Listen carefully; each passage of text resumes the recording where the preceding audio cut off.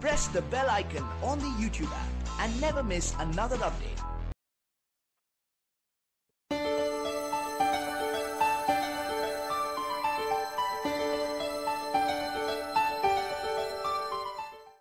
अपने केबल और ब्रॉडबैंड व्यवसाय को बढ़ाने के लिए मुकेश अंबानी के नेतृत्व वाले रिलायंस जियो भारत के सबसे बड़े ब्रॉडबैंड और केबल ऑपरेटर हैथवे केबल और डेटाकॉम के अधिग्रहण की योजना बना रहा है। जानकारी के लिए बता दें कि रिलायंस जियो आक्रामक रूप से हैथवे सौदे को अंतिम रूप देने पर तुला हुआ है। मिली जानकारी के अनुसार यह बातचीत अभी आरंभिक चरण में है, जहाँ सौदे के मूल्यांकन और व्यापार के अवसर पर चर्चा की गई है। अधिग्रहण के लिए हैथवे का मूल्य करीब पच्चीस हज़ार करोड़ रुपए होने का अनुमान है। हैथवे को सबसे बड़े केबल ब्रॉडबैंड सेवा प्रदाताओं में से एक माना जाता है। इसके पास 11 मिलियन डिजिटल केबल टीवी ग्राहक और करीब 8 लाख ब्रॉडबैंड उपयोगकर्ता हैं, जिनमें से 90 प्रतिशत उपयोगकर्ता के पास 40 एम से अधिक की प्लान है। यदि यह डील हो जाता है तो रिलायंस जियो ब्रॉडबैंड आखिरी मील कनेक्टिविटी समस्या भी हल हो जाएगी और जियो ब्रॉडबैंड जल्द ही हर गाँव और हर शहर में अपनी पहुँच बना सकती है। रिलायंस अब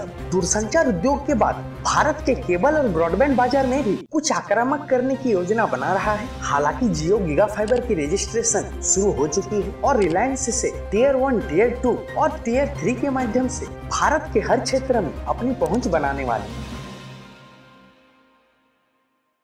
टेलीकॉम न्यूज़ की report. For the latest telecom news, subscribe to this channel now.